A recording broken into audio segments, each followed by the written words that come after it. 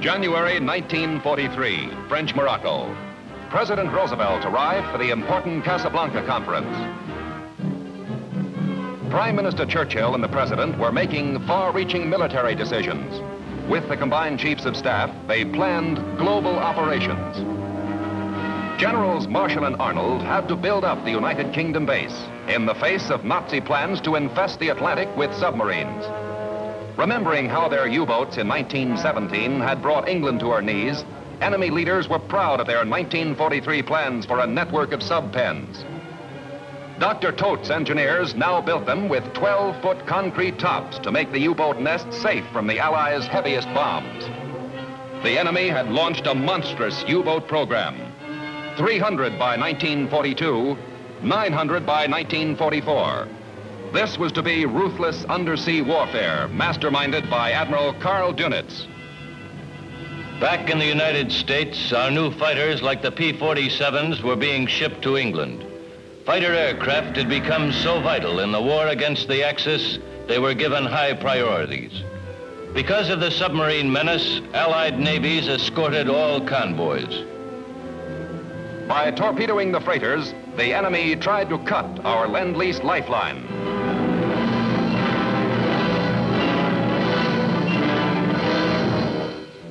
Killer subs roaming the North Atlantic in the first half of 1942 had sunk 506 Allied ships.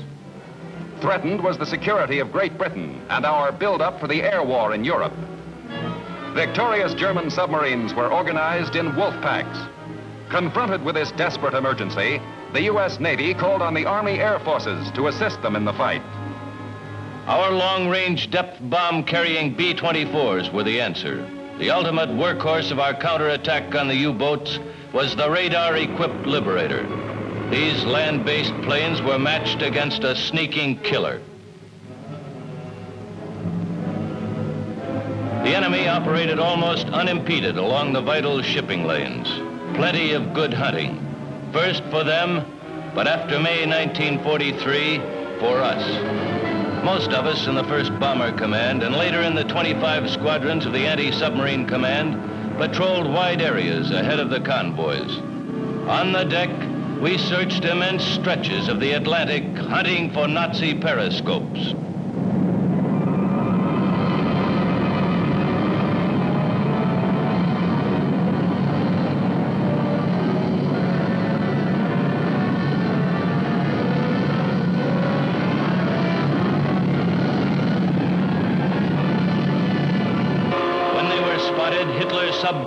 Crash dived.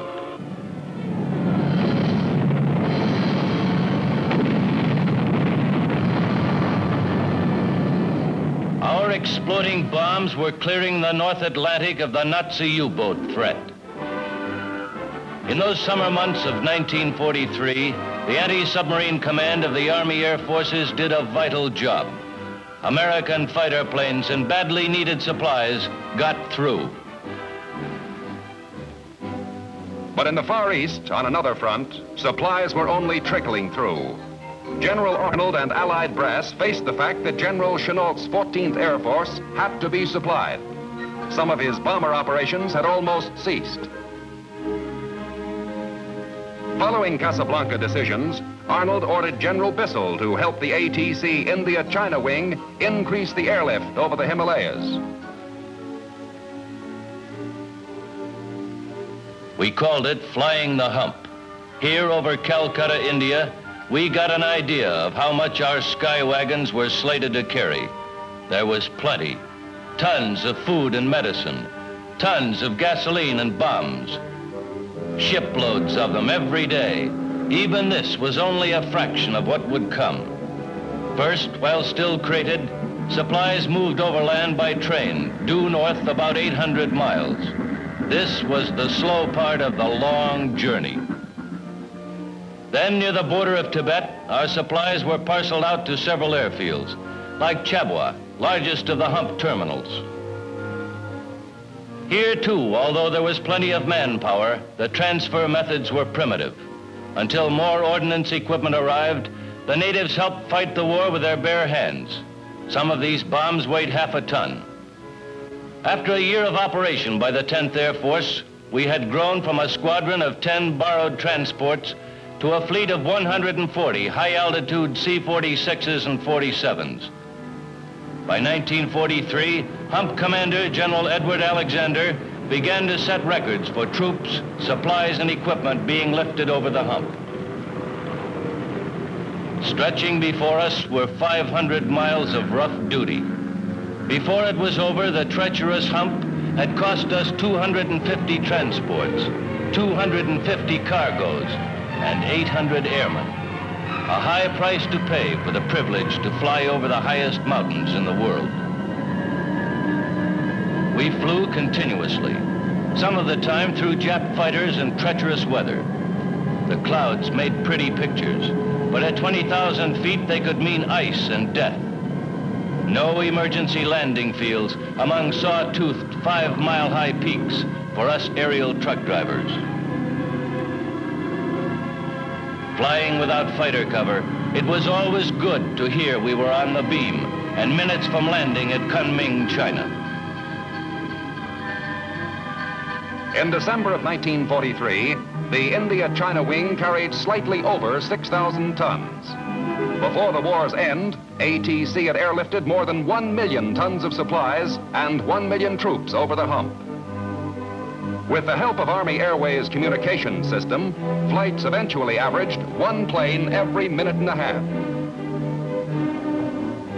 Peak airlift was reached in July 1945. 71,000 tons in one month, including a fleet of jeeps. Every four tons of gasoline delivered used three and a half tons to get them there. Despite the hazards and hardships, despite the costs, the Army Air Forces had conquered the hump. Up our way, in the dismal and dreary Aleutian Islands off Alaska, it was a different sort of war. Around us was the deep, spongy tundra of dead grass and muck. Over us, fog, sleet, and rain for days on end.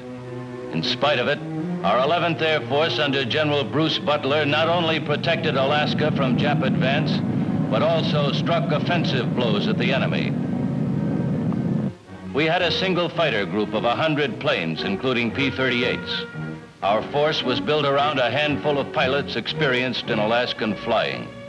Colonel Jack Chennault, son of the 14th Air Force commander, led a fighter squadron. Our strength at this time for the entire Alaska Aleutian area was only 226 operational planes. Luck was with us. On 8 April, the weather cleared and we set out to crush the nip thrust at Attu, most distant of the island chain. We also helped the box in Kiska, the second enemy-held island, forcing the Japanese to withdraw. From flooded fields, we waded into the enemy.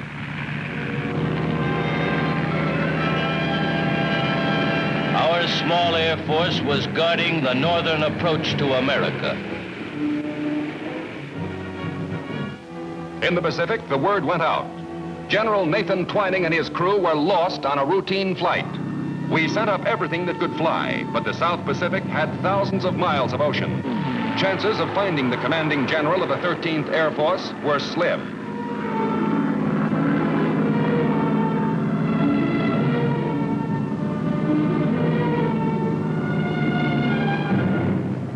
Then, on the morning of January 31st, five days and six nights after ditching, two rubber rafts were sighted.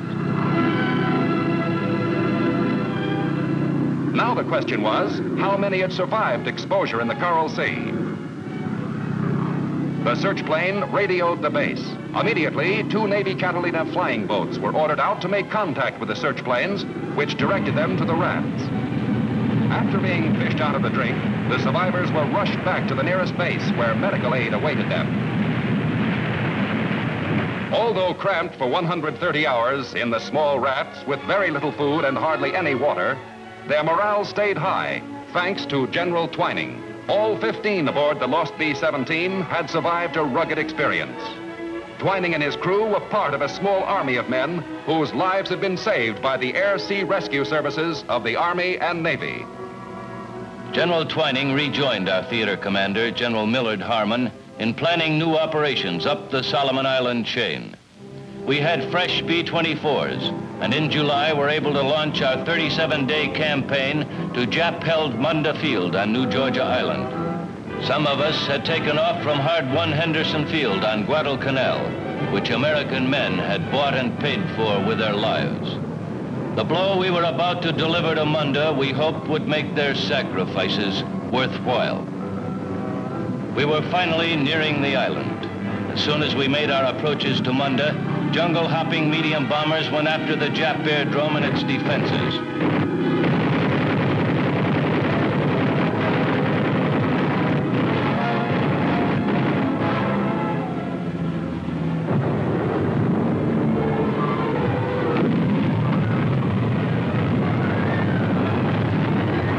Then our liberators opened up.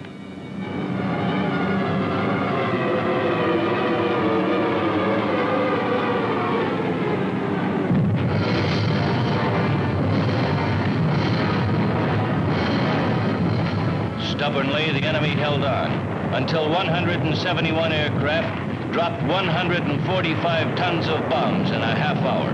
It was the heaviest air bombardment yet cooked up in the South Pacific in one day. By the time resistance had ended, the enemy had lost 350 aircraft. In only nine days, the Allies rushed the strip into operating condition. P-40s were the first to land, followed by heavy bombers which could easily be carried on the coral runways. Warhawks helped protect the base as we rapidly built it into a key for the Solomon Islands. In a few weeks, traffic exceeded that of any field in the South Pacific, reaching the peak of 564 aircraft in one day.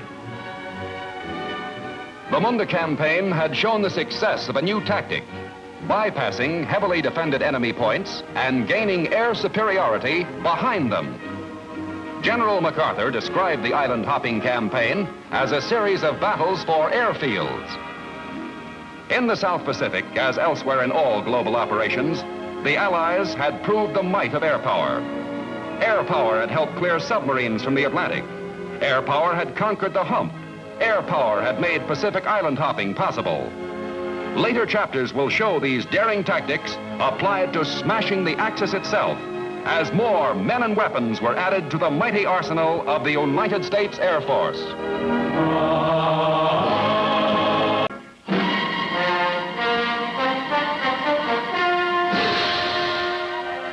June 1948, Berlin. Ever since the end of the war, three years before, tension had been increasing between the Allied military government and the Soviet bosses of East Berlin. The Cold War was becoming warm. Two and a half million people, more than half of Berlin's population, lived in the American, British, and French zones. But the whole city was surrounded by the Soviet zone of Germany.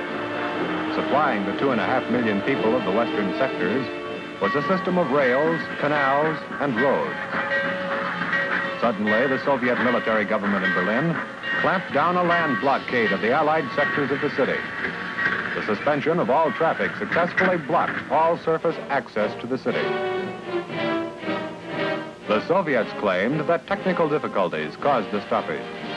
The truth was that they were trying to force the Western Allies to surrender their position in Berlin. And the weapon was hunger. The occupation personnel of the Western nations, both military and civilian, along with the two and a half million of the German population, were threatened with starvation. What were they all going to do for food and fuel? With all the arteries into the city closed, Berlin was paralyzed. With the fuel supply cut off, there wasn't much electricity. Nearly all of the lights went out. The Allies made an important decision to hold Berlin. In late June 1948, General Curtis LeMay, commanding general of the U.S. Air Forces in Europe, started the airlift. Our all-out effort began on the 28th, when we airlifted about 300 tons. From airfields like Rhine-Main, near Frankfurt, we flew the air corridors through the Soviet zone to Tempelhof Field in Berlin. The airlift was our first important use of air power as an instrument of national policy, according to Secretary of the Air Force Symington and General Vandenberg, Chief of Staff.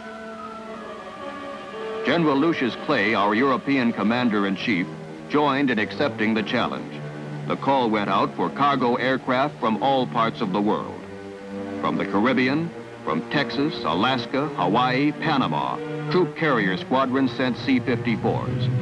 And before long, MATS was sending them too. In the States, Westover was our jumping off place for airlift planes preparing to span the Atlantic. The Combined Airlift Task Force headquarters was established at Wiesbaden. The entire operation was now in business in a big way. Army, Navy, and Air Force, working together, gave an inspiring example of joint action. And we mustn't forget that the British and the French gave much help. Headed by General William Tunner, who had been in charge of the aerial supply missions over the hump in Asia during World War II, the Airlift Task Force was ready for a long haul, pouring supplies into Berlin and bringing out manufactured goods. Rhine-Main was the chief air gateway of the corridor to Berlin. The Army Transportation Corps moved supplies in from ports and railheads in 10-ton trailers, about the cargo capacity of a C-54. Coal from the Ruhr, flour from our Midwest, sugar from Cuba, coffee from Brazil, butter and milk from Denmark, and many other supplies from many other places. Berlin's minimum daily requirement was about 4,500 tons of supplies. For several months in 1949, our deliveries averaged more than 7,500 tons a day. The Air Force assigned more than 300 airplanes and more than 20,000 men to the airlift. And Britain made a large contribution of both aircraft and personnel. It was an operation without precedent and a severe test of precision flying, of logistics, maintenance, communications, and weather service. Some of us had bombed Berlin, and now we were trying to keep the same city alive. It meant that we had to get more from each airplane and from each man than ever before. Takeoffs with full loads were three minutes apart. The air corridor to the Berlin was narrow and dangerous. With 40 to 50 airplanes going through it simultaneously, they had to be accurately spaced. And until the late stages of the airlift, they were flown at five different levels, the levels being 500 feet apart. This called for extremely precise air traffic control. Here, the position of each aircraft in the constant stream of C-54s was plotted and replotted. And every three minutes, there was a landing at Tempelhof, the Berlin air terminus. Each aircraft in Operation Vittles flew three round trips every day to Tempelhof or to the other airfields in the Allied sector. At the end of the line, volunteer crews of displaced persons were always on hand to unload our aircraft, and it took an army of them. At the height of the airlift, the control tower at Tempelhof handled more than 400 landings and takeoffs every day, seven days a week, around the clock, and regardless of weather. Operation Vittles really gave us, in 15 months, as much experience in air transport as we ordinarily get in 10 years. When bad weather arrived in the fall, everyone was put to the supreme test. Rain and heavy fog day after day. The communists expected the airlift would be broken, but it wasn't. We kept right on. Army Airways communication system operated a network that fed information to ground control approach at Tempelhof. Rotating GCA antennae tied air and ground together. GCA operators at radar scopes 24 hours a day talked us down at the rate of a landing every three minutes. Baker George 2, uh, this is the final controller. Uh, remain on receive for the remainder of this transmission. Uh, maintain your present elevation and continue vector 315. You're almost at the glide path. Uh, begin your rate of descent at 500 feet per minute. We're starting down the glide path. A rate of descent is good. Azimuth is good. Elevation good. Very nice flying indeed. Maintain your heading. On course, on the glide path. Very good. Now over the end of the runway. Azimuth and elevation both perfect. Touchdown in four seconds. Take it over, Baker George 2. It's all yours from here.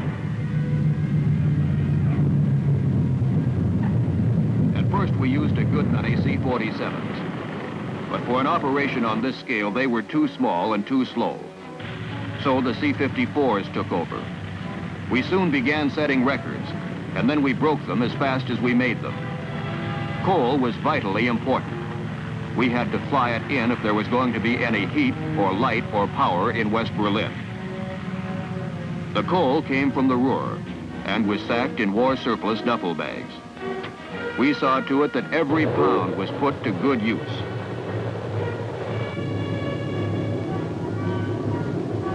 Berlin was saved because the airlift kept the fires burning, kept wheels turning, kept the ovens going. Not long before, we had been delivering bombs to compel peace. Now we were delivering bread to maintain that peace. The airlift cargoes kept the city alive. Before Operation Vittles, Berlin was one of the places where children cringed in terror at the roar of airplanes overhead. The airlift planes taught them they need cringe no more. In 15 months, the airlift brought in two and a quarter million tons of supplies, life-sustaining necessities, the greatest feat in transportation history, achieved by the RAF, the United States Army, Navy, and Air Force.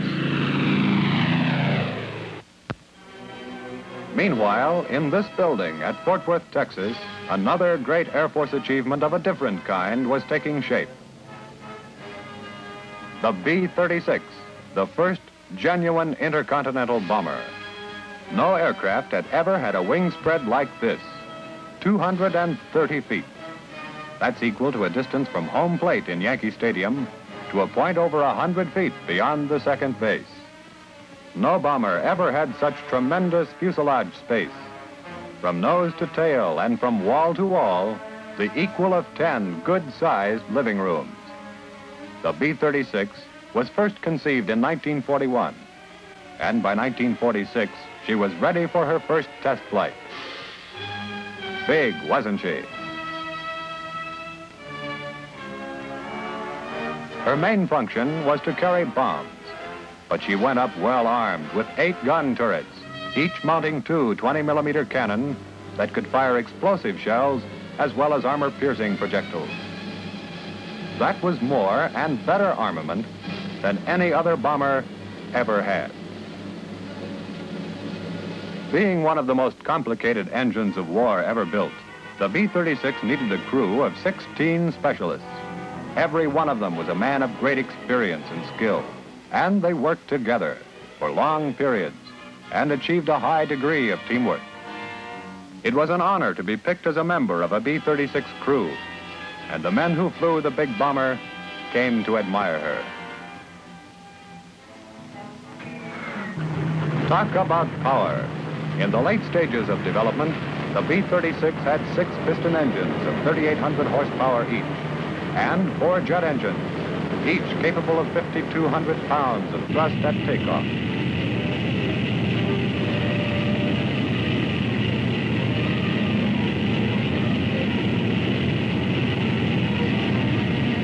The big bomber had a much greater carrying capacity than any other aircraft so far produced.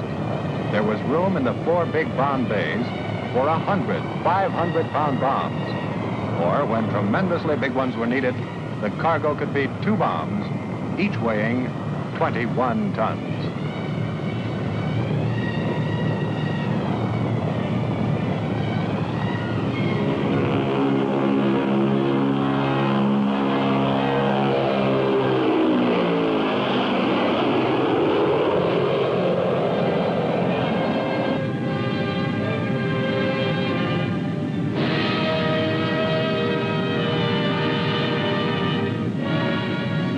With its fuel load of 21,000 gallons, the B-36 had tremendous range. 10,000 miles without refueling and a combat radius of more than 4,000 miles. Even at great altitudes and at more than 400 miles an hour, the B-36 was a steady flying platform, a stable and accurate bomber. Over the target. With its speed, armament, and high altitude capability, the B-36 became the Strategic Air Command's Sunday punch. It gave the Air Force one of its best means of winning friends and influencing people. Largely because of this aircraft, the Strategic Air Command was the first military organization in history that could assault the heart of a remote enemy country from stateside bases within hours after the outbreak of a war.